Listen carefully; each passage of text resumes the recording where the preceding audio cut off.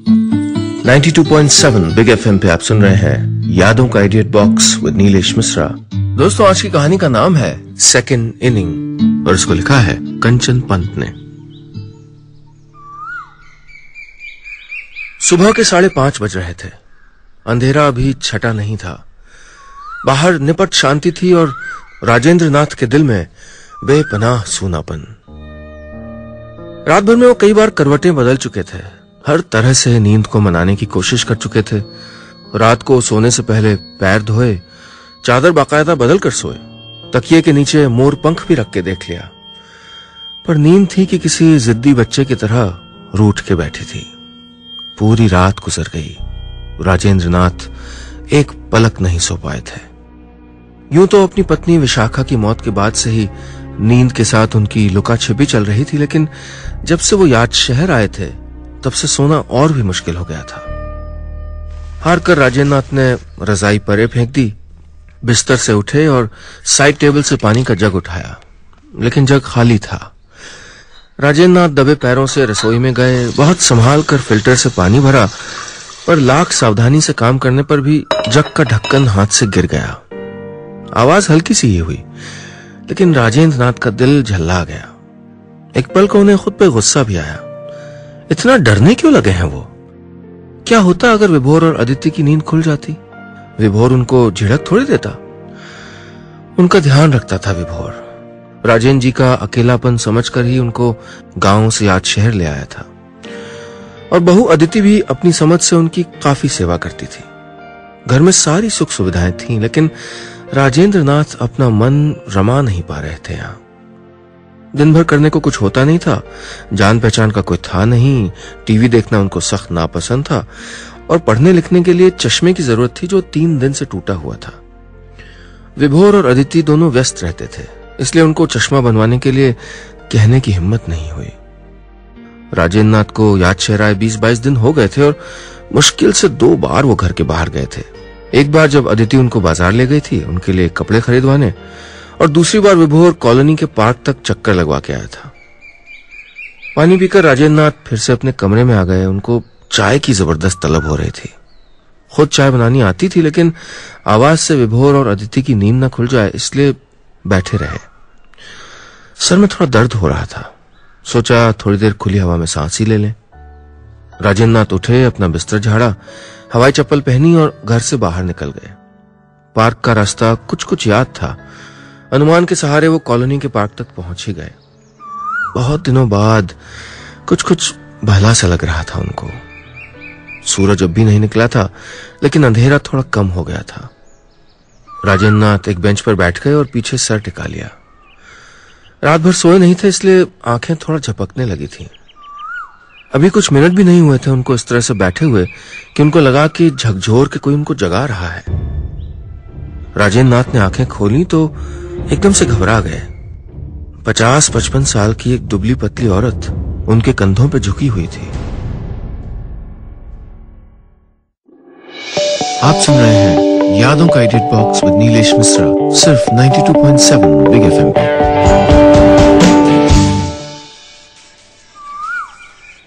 राजेंद्र नाथ की आँखें खोलते ही औरत ने अपना हाथ उनके कंधे से हटा लिया। वो औरत काले रंग के ट्रैक सूट में थी। उसके कंधे पर एक छोटा सा बैग लटका हुआ था। उसके कानों में ईयर प्लग्स इस वक्त कंधे से झूल रहे थे। और उनसे छन छन के किसी हिंदी गाने की आवाज़ बाहर तक सुनाई दे रही थी। आप ठीक है ना? उस औरत ने पूछा। हाँ जरा नींद लग गई थी। राजेंद्र नाथ हड़बड़ा गए। राजेंद्र नाथ की बात सुनकर वो औरत ज़ोर से हंस पड़ी। उनको थोड़ा संकोच हुआ ऐसी हंसने की कोई बात तो नहीं कही थी उन्होंने। औरत देर तक हंसती रही और फिर मुश्किल से अपनी हँसी रोक के बोली, आप सोए थे, मैंने समझा कि आप गए। बड़ी अजीब औरत है राजेंद्र नाथ ने सोचा। किसी के मरने की बात इतनी आसानी से कोई कैसे कह सकता है भला? उसकी वेशभूषा भी राजेंद्र नाथ जी को थोड़ा अटपटी लग रही थी। उस उम्र की औरतों को उन्होंने साड़ी में या ज़्यादा से ज़्यादा सलवार कमीज में देखा था।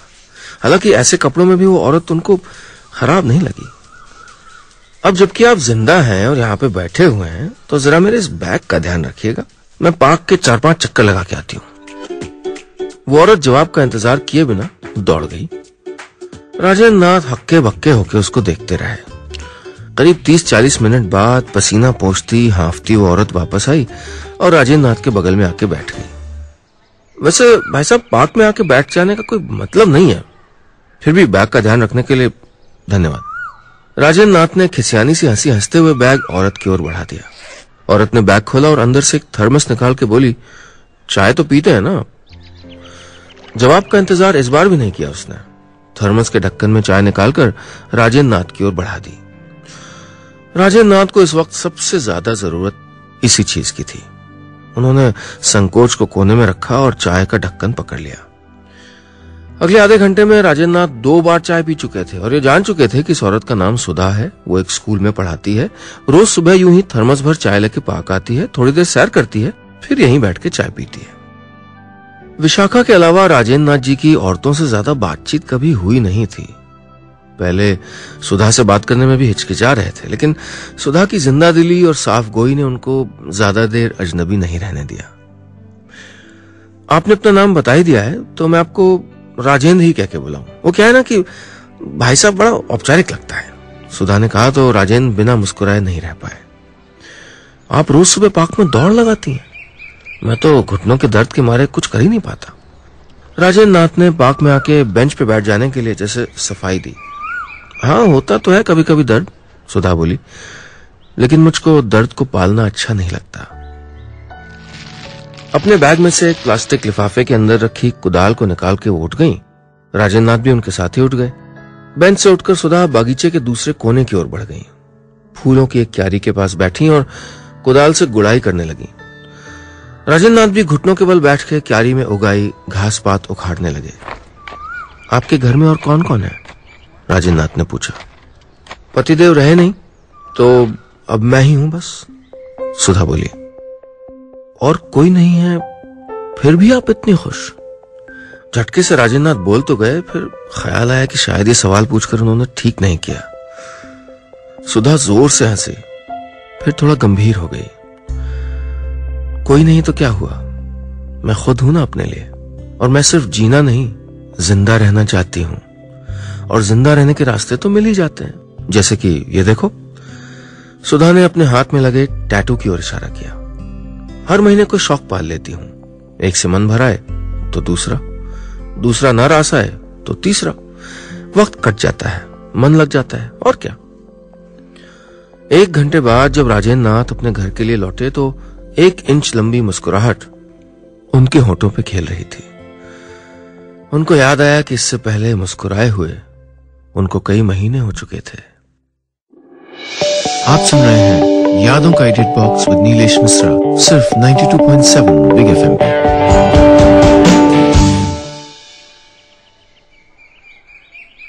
राजेंद्र नाथ घर पहुँचे, दरवाजे पर कान लगाकर अंदर की आहट लेने की कोशिश की। विभोर और अदिति अभी भी उठे नहीं थे शायद। एक पल झिझकने के बाद उन्होंने बेल बजा दी।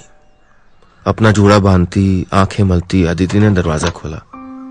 सामने राजेंद्र नाथ को देखा तो थोड़ा सा कुछ आ गई। ससुर के सामने गाउन पहनकर घूमने की आदत नहीं थी उसको। राजेंद्र नाथ इतने चुपचाप रहते थे कि अदिति चाहकर भी उनके सामने सहज नहीं हो पाती थी। इसलिए उनके आने के बाद अदिति ने अपने सारे स्कर्ट, जीन्स टॉप अलमारी में बंद कर दिए थे। अब, पापा, आप कहाँ गए थे? अदिति ने झेप कर पूछा। जरा पार्क तक घूमने चला गया था बेटी। तुम जाओ, सो जाओ। राजेंद्र नाथ ने मुस्कुराते हुए कहा। अदिति ने हैरानी से अपने ससुर का चेहरा देखा। राजेंद्र नाथ आज उससे बात कर रहे थे, वो भी मुस्कुराते हुए, वरना उसने उनके मुँह से हाँ या नहीं के अलावा कोई खास शब्द सुने नहीं थे। नहीं पापा, आज तो मैं वैसे ही लेट हो गई हूँ, नौ बजे मीटिंग है, आप बैठिए, मैं चाय बनाती हूँ। अदिति भी राजेंद्र नाथ से थोड़ा खुलने लगी थी। बहु, तुम नहाओ, चाय मैं बना देता हूँ राजेंद्र नाथ ने कहा। अदिति लाख मना करती रही, पर राजेंद्र नाथ चाय बनाकर ही माने। विभोर और अदिति तैयार होकर ऑफ़िस चले गए। लेकिन आज राजेंद्र नाथ को उनके जाने के बाद घर काटता हुआ नहीं लगा। करने को कई सारे काम थे उनके पास। सबसे पहले उन्होंने काम वाली से पूरा घर साफ़ कराया, सारी चादरें और कुशन बदलवाए। फिर अपना चश्मा बदलवाने निकल पड़े। और बाल भी तो कटवाने थे। विशाखा को बड़े बालों से बहुत चिढ़ थी और उन्हें खुद भी ऐसे बाल अच्छे नहीं लगते थे। पिछले कुछ सालों से उन्होंने अच्छा लगना, बुरा लगना जैसी चीज़ों के बारे में सोचना भी छोड़ दिया था। पर आज सुधा से मिले तो याद आया कि वो ज़िंदा हैं और जब तक मौत नहीं हो जाती, तब तक उनको ज़िंदा ही रहना चाहिए। अब रोज सुबह पार्क जाने का नियम उन्होंने बना लिया। सुधा से भी मुलाकात रोज होती थी। उनको सुधा के साथ की आदत पड़ती जा रही थी। सुधा को भी उनके साथ वक्त बिताना अच्छा लगता था। पिछले तीन महीने से राजेंद्र नाथ रोज सुबह मॉर्निंग वॉक पर जा रहे थे। एक दिन जब सुबह उठे तो बदन टूटता हुआ महसूस हुआ। तेज बुखार भी चढ़ा हुआ था। बहुत कोशिश की खुद को पार्क तक घसीटने की, लेकिन दरवाजे तक पहुँचते पहुँचते हिम्मत जवाब देने लगी। सैर के लिए जाना तो दूर, उस दिन वो बिस्तर से भी नहीं उठ पाए। अगले दिन भी हालत ऐसी ही थी। विभोर और अदिति दोनों के ऑफ़िस में ऑडिट चल रहा था। छुट्टी मिलने का तो सवाल ही नहीं था। दोपहर तक बुखार थोड़ा कम हो गया था, पर कमज़ोरी वैसी ही थी। दोपहर को दरवाजे की घंटी बजी। राजेंद्र नाथ ने दरवाज़ा खोला तो सामने सुधा खड़ी थी। आप सुन रहे हैं यादों का edit box with Nilesh Mishra, सिर्फ़ 92.7 बिग एफएम पे अपने दरवाजे पर सुधा को देखकर राजेंद्र नाथ थोड़ा हैरान हो गए। हालाँकि एक दिन उन्होंने खुद ही अपना फ्लैट नंबर सुधा को बताया था, लेकिन वो इस तरह घर पे आ जाएगी, उनको भरोसा नहीं था। तुम? मुझे लग ही रहा था कि तुम्हारी तबीयत खराब होगी। उस दिन भी थोड़ा सुस्त लग रहे थे तुम। सुधा ने बिना किसी भूमिका के कहा। राजेंद्र नाथ को सहारा देती हुई वो अंदर ले आई। डॉक्टर को दिखाया? नहीं दिखाया होगा। सुधा ने खुद सवाल पूछा और खुद ही जवाब भी दे दिया। और तुरंत डॉक्टर को फ़ोन भी कर दिया। पूरा दिन सुधा राजेंद्र नाथ के घर पर ही रही। राजेंद्र नाथ यूँ तो उनको चिंता न करने और घर लौटने के लिए कह रहे थे, लेकिन दिल से वो खुद भी जानते थे कि सुधा उनके आसपास ही रहे। सुधा का उनकी फ़िक्र करना, उनका ध्यान रखना उनको अच्छा लग रहा था। दो तीन दिन बीमार रहे राजेंद्र नाथ और उसके बाद जब पार्क पहुँचे तो सुधा ने उनका पार्क में शॉल ओढ़कर आना और कानों को मफलर से ढकना अनिवार्य कर दिया। पहले राजेंद्र नाथ और सुधा सुबह साढ़े पाँच बजे पार्क पहुँचते थे और साढ़े छह बजे तक लौट आते थे। साढ़े छह, सात, साढ़े सात, और साढ़े सात कब साढ़े आठ में बदल गया, दोनों को एहसास ही नहीं हुआ। राजेंद्र नाथ अब अखबार भी पार्क में ही पढ़ने लगे थे। हर खबर ज़ोर से सुधा को पढ़कर सुनाते थे और अपनी विशेष टिप्पणी ज़रूर उसके साथ जोड़ देते थे। बदले में उनको सुधा से उनके पसंदीदा धारावाहिक की कहानी सुननी होती थी। राजेंद्र नाथ बिना देखे भी उस धारावाहिक के हर पात्र को पहचानने लगे थे। पर दोनों की दोस्ती अब लोगों की नज़र में आने लगी थी। इसका अंदाज़ा राजेंद्र नाथ को तब हुआ, जब एक दिन घर पहुँचने में उनको थोड़ा ज़्यादा ही देर हो गई। जैसे उन्होंने दरवाज़ा खटखटाया, विभोर ने तपाक से दरवाज़ा खोल दिया, जैसे उन्हीं का इंतज़ार कर रहा हो। पापा, आजकल पार्क में आपको कुछ ज़्यादा ही देर हो जा रही है। वो अंदर घुस पाते, इससे पहले ही विभोर ने पूछ लिया। अरे, मौसम अच्छा है, फिर अखबार भी मैं वहीं बैठ के पढ़ लेता हूँ। राजेंद्र जी ने विभोर की बात को ज़्यादा तवज्जो नहीं दी। वही तो पापा, आप इतनी देर तक अखबार पढ़ते रहते हैं, मुझको ऑफ़िस से आकर पुरानी न्यूज़ पढ़नी पड़ती है, विभोर ने कहा। ओहो, इतनी सी बात है, कोई बात नहीं, मैं कल से अपने लिए दूसरा अखबार खरीद लूँगा। पार्क के पास ही तो बैठता है अखबार वाला। पापा, बात वो नहीं है, विभोर कुछ हिचकता हुआ बोला। मेरा दोस्त बता रहा था कि आप पार्क में किसी औरत के साथ आगे की बात विभोर ने अधूरी छोड़ दी। जो कह दिया गया था और जो कहा जाने वाला था, उसको सोचकर राजेंद्र नाथ के तन बदन में आग लग गई। तुम्हारे दोस्त का दिमाग ठिकाने है कि नहीं? इस उम्र में क्या यही सब बचा है मेरे लिए? और तुम? तुम भी मुझसे सवाल कर रहे हो? राजेंद्र नाथ चिल्लाए। विभोर की तो बोलती बंद हो गई। वो उठे और धड़धड़ाते हुए अपने कमरे में घुस गए। सुधा और वो? अब तक इस रिश्ते के बारे में सोचने की उनको ज़रूरत नहीं पड़ी थी। पर अब विभोर के सवाल ने उनको मत कर रख दिया। विभोर और अदिति ऑफ़िस चले गए थे। दिन में राजेंद्र नाथ ने प्लेट में खाना निकाला। आज भी शिमला मिर्च की सब्ज़ी थी। पिछले चार पाँच महीनों में उन्होंने शिमला मिर्च की सब्ज़ी खाने की आदत डाल ली थी। लेकिन आज एक निवाला भी हलक के नीचे नहीं उतरा। उन्होंने रोटी और सब्ज़ी अखबार में लपेटी और कूड़ेदान में डाल दी। फिर अपनी चारपाई पर जाके लेट गए। बीमारी और रात के अलावा किसी भी वक्त बिस्तर पर पसरना राजेंद्र नाथ को पसंद नहीं था। लेकिन आज उनको लग रहा था कि उनके शरीर में जान ही नहीं बची है। दिन तो उलझन में गुजरा ही, रात भी आँखों में ही कटी। अगले दिन पार्क जाते समय वो अपने दिल में एक फैसला कर चुके थे। उन्होंने बिना किसी भूमिका के सुधा से कह दिया, सुधा, आज के बाद हम नहीं मिलेंगे. आप सुन रहे हैं यादों का edit box with Nilesh Mishra, सिर्फ़ 92.7 बिग एफएम पे।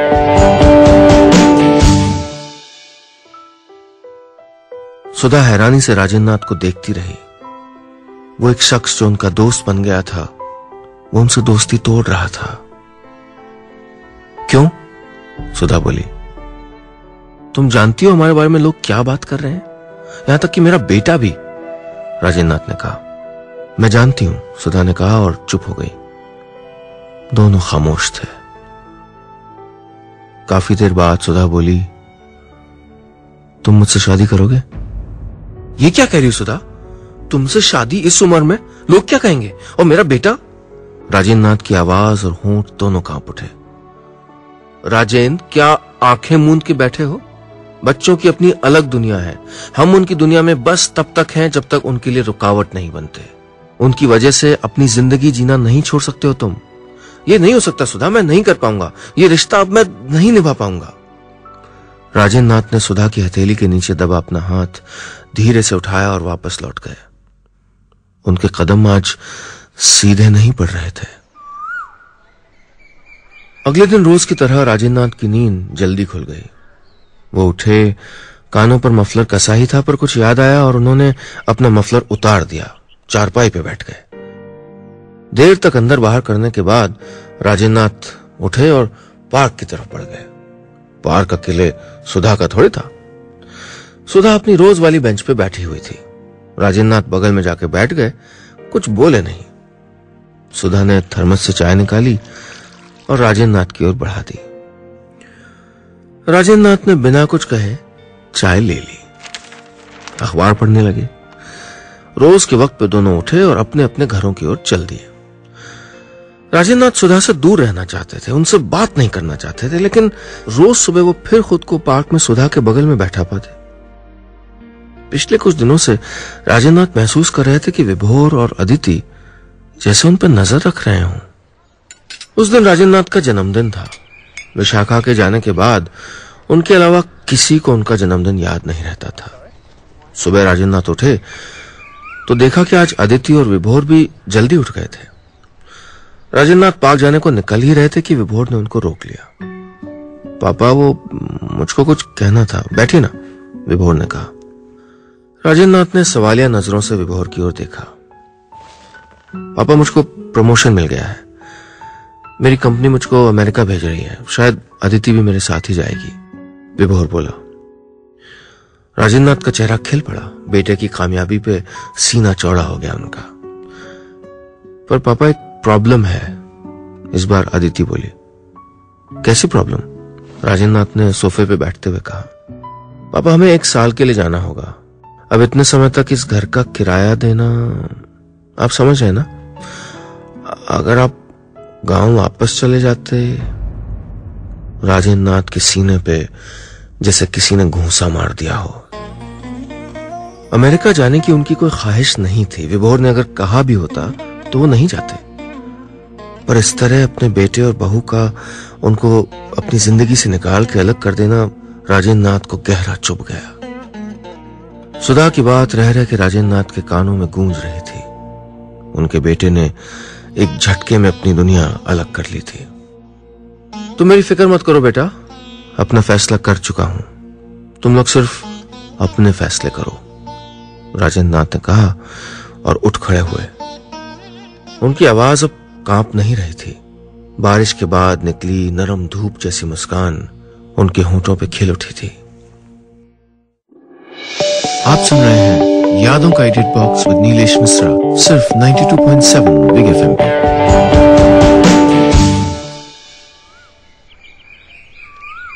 पिछले चार दिन से उनकी सुधा के साथ बातचीत बंद थी। दोनों रोज पार्क आ रहे थे, साथ में सैर भी कर रहे थे। सुधा अब भी उनको चाय पिलाती थी, लेकिन चाय पीते वक्त राजेंद्र नाथ उनको अखबार पढ़ के नहीं सुनाते थे। और सुधा अपने सीरियल के पिछले चार एपिसोड की कहानी अपने ही अंदर पचा के बैठी हुई थी। उस दिन राजेंद्र नाथ काफ़ी देर से पार्क की बेंच पे आके बैठे हुए थे। बार बार गेट की ओर देख लेते, लेकिन सुधा का पता नहीं था। काफ़ी देर बाद सुधा आई और आते ही सुनहरे कागज़ में लिपटा एक पैकेट राजेंद्र नाथ की ओर बढ़ा दिया। पैकेट देखकर राजेंद्र नाथ की आँखों में बच्चों जैसी चमक आ गई। ये क्या है? चश्मा है तुम्हारे लिए। आँखों को अखबार के अंदर ही घुसा लोगे, लेकिन ये नहीं कि नया चश्मा ले आऊँ। सुधा ने कहा, इतना घुमा फिरा के क्यों बोल रही हो? सीधे सीधे कहो ना कि मेरे जन्मदिन का तोहफा है. राजेंद्र नाथ सुधा के हाथ से पैकेट लेते हुए बोले, ज़्यादा खुश होने की ज़रूरत नहीं है राजेंद्र साहब। मैं तो भलमन साथ में ले आई। और कितनी मुश्किल हुई मुझको पार्क के मेंबरशिप के फॉर्म्स में तुम्हारा जन्मदिन ढूँढने की। वरना इस बुढ़ापे में कोई जन्मदिन मनाता है भला? सुधा ने कहा। राजेंद्र नाथ उनकी बातों पर ध्यान दिए बिना चश्मे के केस वाला पैकेट खोलने की कोशिश करने लगे। टेप थोड़ा मज़बूत था और उसका सिरा राजेंद्र नाथ की पकड़ में आ नहीं रहा था। उन्होंने सर ऊपर उठाया और सुधा से बोले, सुधा, मुझसे शादी करोगी? सुधा ने उनके हाथ से पैकेट ले लिया और खुद खोलने लगी। बड़बड़ाती हुई बोली, एक गिफ्ट पैक तो खुलता नहीं इनसे, शादी करने चले। वैसे भी कुर्ता पजामा पहनने वाले आदमी मुझको नहीं पसंद है। तुम्हें ये मूछे भी नहीं अच्छी लगती मुझको। और उम्र देखिए अपनी? चौसठ के हो गए हो? सुधा पैकेट से चश्मा निकालते हुए बोली, अरे तो तुम कौन सा पच्चीस की हो? राजेंद्र नाथ ने चश्मा अपनी आँखों पे लगाया और छेड़ते हुए बोले, सुधा ने कुछ कहा नहीं। और राजेंद्र नाथ के बगल में आके बैठ गई, सुधा, मैंने सोच लिया है, मैं फिर से नई शुरुआत करूँगा तुम्हारे साथ। सुधा मुस्कुराकर पार्क के पाँच चक्कर लगाने चली गई। वापस आई तो देखा अपनी आँखें मूंद कर बेंच पे सर टिकाकर राजेंद्र नाथ बैठे थे। काफ़ी देर तक ऐसे ही बैठे रहे। राजेंद्र, आप ठीक है ना? सुधा उनका कंधा हिलाते हुए बोली। राजेंद्र ने अपनी आँखें खोली, मुस्कुराए। कई दिनों की बारिश के बाद जैसे धूप निकल आई हो। आप सोए थे? मैंने सोचा कि आप गए। सेहत ठीक कर लो अपनी। रोज दौड़ना शुरू कर दो। अपने हस्बैंड को इतना आलसी नहीं रहने दूँगी मैं। बस इतनी सी थी ये कहानी।